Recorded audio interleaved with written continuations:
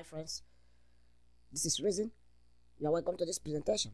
In this presentation, we are going to be considering PDF to AutoCAD file conversion. And as well, we are going to be setting the AutoCAD file in order to maintain the same dimension that is on the PDF file. After which, we will do all the necessary work on the file so as to export it to ProtaStructure for structural modeling. So let's get started. I will navigate to the Insert tab. I click right there. In the drop down menu, I will proceed to any of these. Uh, you can see PDF underlay, or I can decide to go through these provisions and then come to PDF import. Click right there in the drop down menu and select PDF import. This will take me to my directory where I can't be able to navigate to where I save the PDF file. So this is the PDF file. So I will select it and click on open.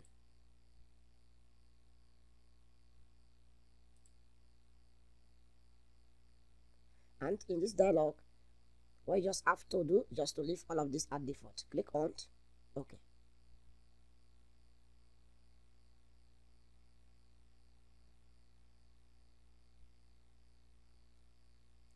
so friends here is the file imported successfully into AutoCAD. If I zoom closely you can see the dimension all right?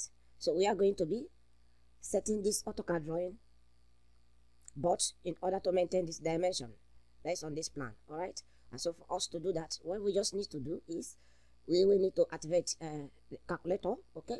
So you go to home and then you'll be able to select calculator right away. So for instance if i shoot zoom very closely and then i pick a measurement tool all right? Pick this measurement tool you can see the distance from this point to this uh, other end is uh, 1500 millimeter all right so if I should pick that point and then come over to this point, you can see it's giving me 0 0.3625. All right. So the conversion goes like this. This 0 0.3625, you will use it to divide uh, 1500. Whatever it gives you is the scale factor to scale this drawing but to fit into the existing scale of the PDF file. All right. So what we need to do, we have to take note of the uh, the given uh, uh, dimension just as I've measured 0 0.3625 all right? So I will come back to the calculator. And I will have, uh, just have to escape that.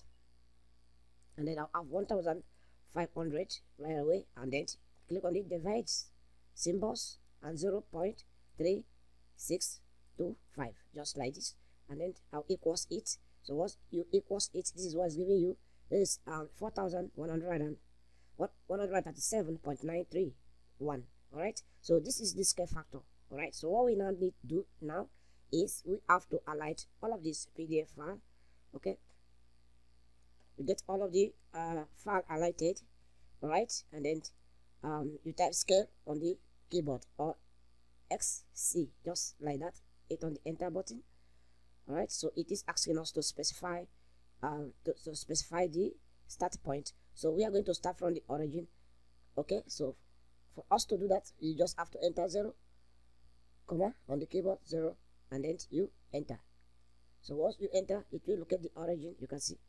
All right so with this uh, provision now you can now impute in the scale factor which is the 4137 all right point nine three one okay to up to three decimal places. All right so after which just hit on the enter key. All right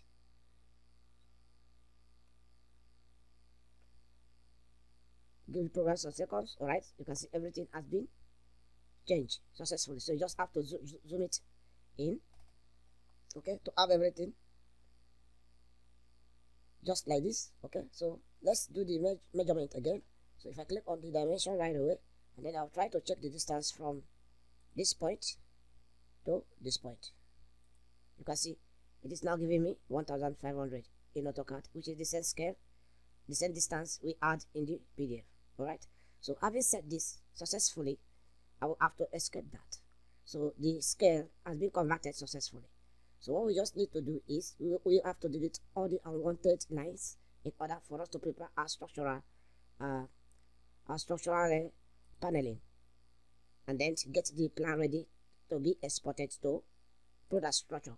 Okay so i'll highlight all of these since i don't want all of that. So e on the keyboard to erase that successfully.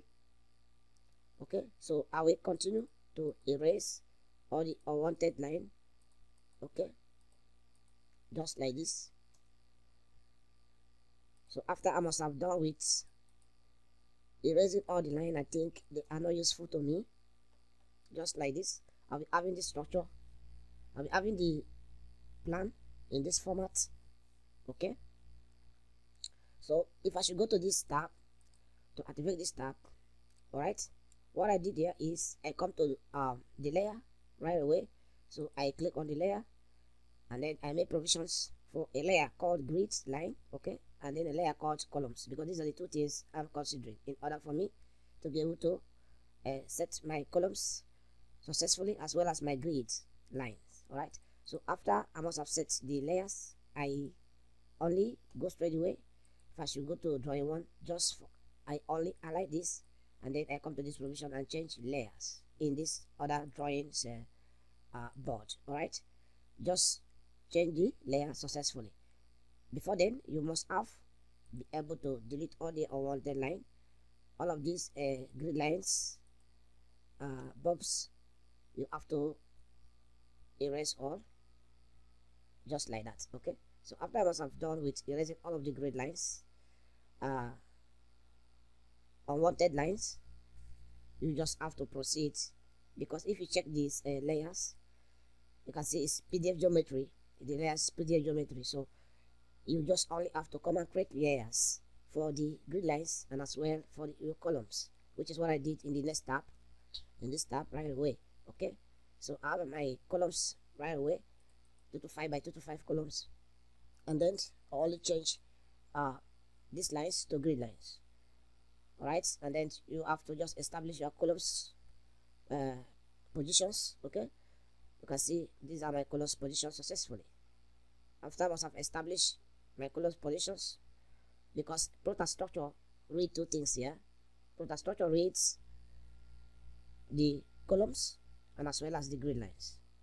So after I must have been able to change the columns and the grid lines layer successfully I actually move the structure to the origin. So you can see this is the origin of the uh, universal coordinate system. I wanted it here so as to have it in the same location and ProtaStructure interface okay? So after which what I just need is to highlight all of this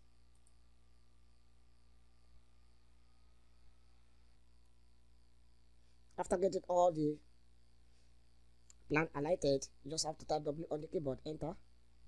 In these provisions you click on this three dotted provisions and then you navigate to where you'll be able to save the file. I will come to this provisions in the drop down menu I'll select library and then I'll be able to look at the video okay and then training file. So in this training file I want to save this file as DXF file so as to be able to read it in ProtaStructure. So I'll just save it as the file okay just like this. And then I'll click on save. And okay take note of the unit. It must be in millimeter. Or any unit you used whether meter centimeter you make sure you maintain it in ProtaStructure. Click on ok. And then it is said the files already exist. Close that. Okay go back again. So we are having this file existing already okay? What we just need to do for us to save it in another name can just add one right away click on save. And okay. So you can see the file has been saved successfully.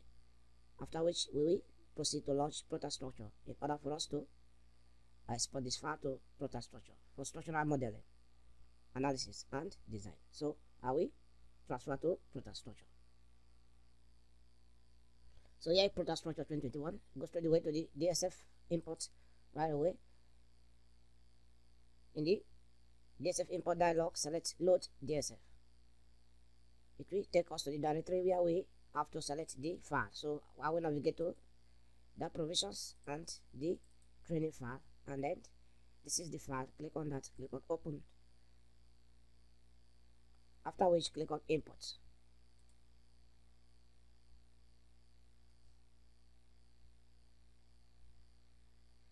alright then click on closed. So you can see this is the file so from here we can now start modeling right? From the beam and as well as the slabs and generate stories. So this is how you can export or convert your files from PDF to DWG arrange the file and then export it to ProtaStructure for structural modeling analysis and design. We'll stop here to be continued in the next lesson. Stay tuned and bye for now.